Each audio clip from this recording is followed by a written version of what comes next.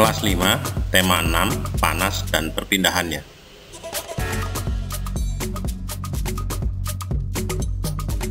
Subtema 2, perpindahan kalor di sekitar kita.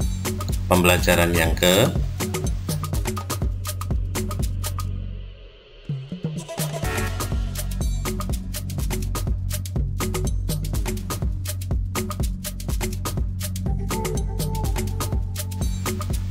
Mugi mboten supe subscribe, pencet lonceng, like, share, kali jenengan paringi komen supados channel Miko tambah saya malih.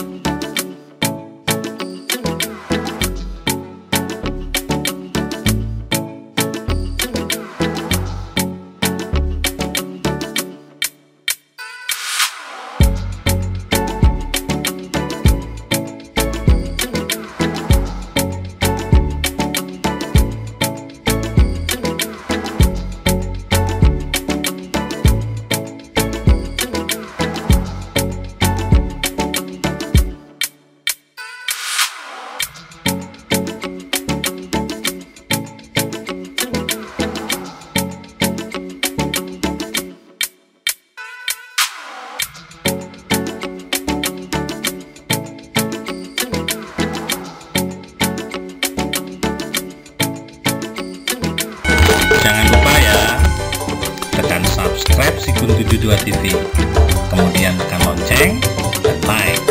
Kalau bisa komen ya, karena ini dapat membantu channel ini berkembang lebih baik. Terima kasih atas subscribe-nya.